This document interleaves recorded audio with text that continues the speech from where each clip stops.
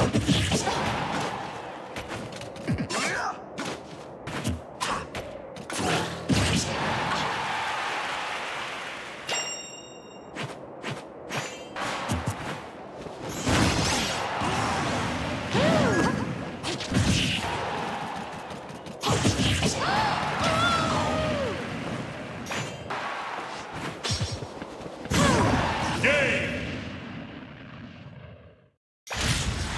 The winner is Rosalina and Luma.